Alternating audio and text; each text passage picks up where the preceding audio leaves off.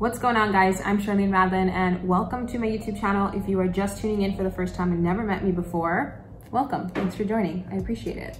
For this video, we're gonna be talking about something that I wanna say that I was peer pressured into because of Instagram. I kept getting the ad for Il Makiage literally like over and over and over again. And I would be like, no, I'm not gonna do it. No, I'm not gonna do it. No, I'm not gonna do it. And then I did it. And I ended up taking the test like over a course of like three months like five or six different times because I was like, let's see if they get it right this time. Let's see if I'm the same shade. And I'm not gonna lie, one of the times that I did it with one of my friends, we both got the same shade and it was not the shade that I had originally gotten. So I'm not really sure how it's gonna work out. But I am really curious to see what's gonna happen in this video if they got it right. I am testing out the Woke Up Like This and the I'm Flawless concealer. So I'm doing both of them. I decided if I'm gonna go big, I'm gonna go home. if I'm gonna go big, I'm gonna go home. If I'm gonna go big, go big or go home. And uh, let's jump right on. So we got the package. I have not opened this yet. So this is the first time that I'm opening it. I have no idea what to expect. Um, and it says more is more on the front. It comes in this cute little box. It says Il Makiage New York on it. And open it, okay? How it works and how it works. One, try the products. These products are yours to try for 14 days, starting the day they were arrived, which is great because it's like when I ordered it, then all of a sudden you're rushing. And then two, love it or return it. If you love them, keep them. If you shockingly don't, then visit the website and you'll get a return label. And then we've got the concealer. Whoa, this is heavy. Wait, I have three things in here. What? What is this? Oh my God, a liner. I didn't buy this. What? Oh, okay.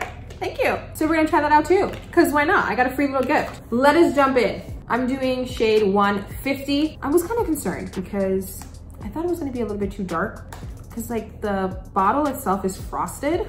Dramatic pause, please. I like that. This is the color right here. Let's see. I feel it looks pretty close, honestly. Actually, now that I see it like this,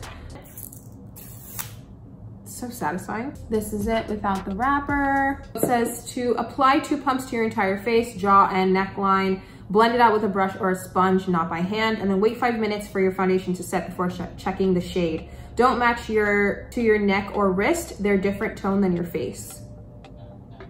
So then like, why do we swatch? Don't we always use, I mean, I don't know. Okay.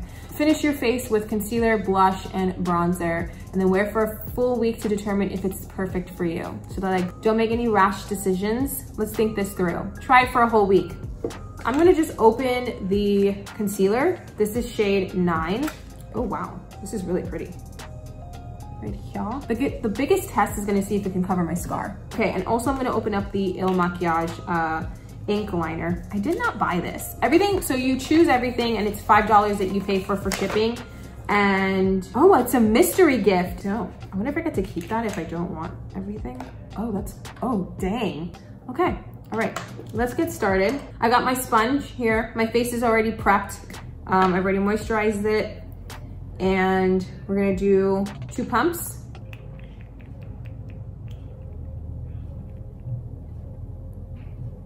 looks a little dark. Oh, it looks a little orange too. Oh God. Okay. Oh.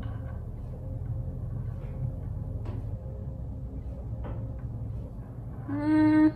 Use my mirror really quick because I'm staring into the camera. Oh, this is orange.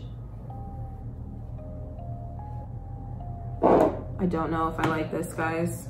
Okay, so first impression. Ooh. Not super happy.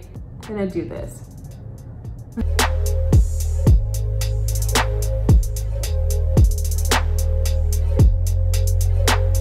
This is so orange. I look like an Oompa Loompa. Okay. It smells good. I like the smell. It doesn't feel heavy on my face at all. I don't know. This is, it's kind of looking a little blotchy. You can see this, right? It's, it looks really red.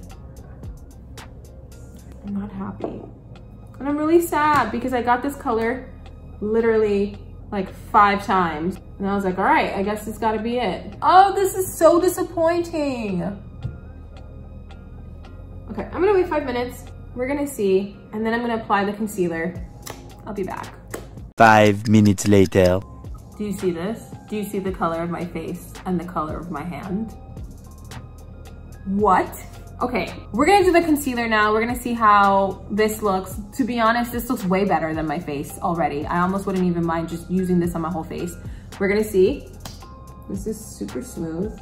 I also don't really like how the formula is looking on my face from the foundation. I just feel like it looks really blotchy. Little here.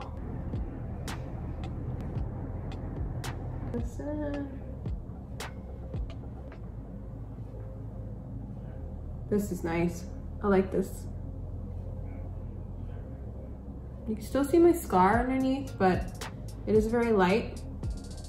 Concealer I do love wearing. I do love Tarte Shape Tape. That is the OG concealer. It covers up my scar. The concealer helped a little bit.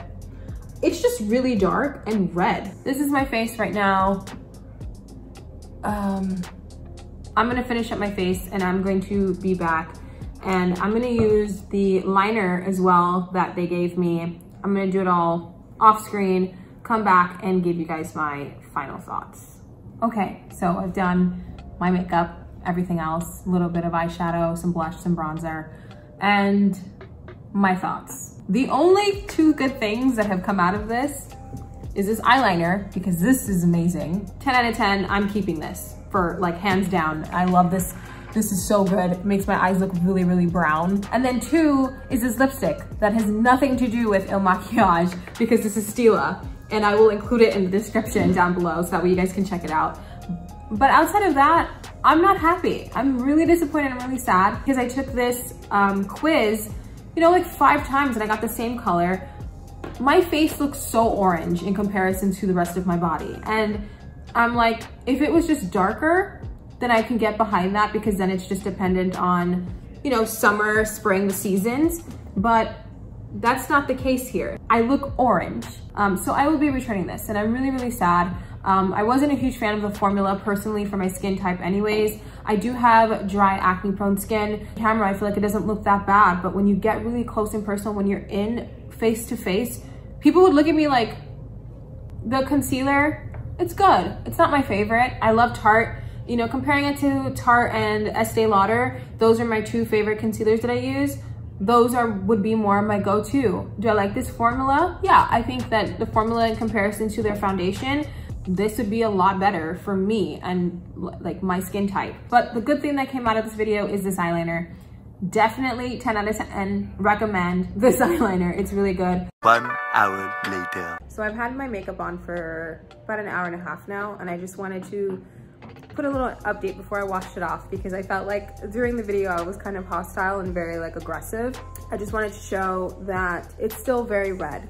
Um, it's kind of hard to see honestly on video, but in person you can tell how different, how much of a stark difference my chest is to my face. Like on camera, I think it looks very seamless. It looks beautiful. Overall, if you were to just base it on the video, it works. Like it, it looks phenomenal. But in person, it's a different story. And I think that's a part of it. I think that if I were to just use this as like my camera makeup, then you guys would probably be like, oh my God, you have a perfect face beat. But if I were to go out with this makeup, you guys would look at me like I'm crazy. But comparing it to my, my hand, you see how much of a stark difference it is? Like my hand is so much lighter. It's significantly lighter than the rest of my face.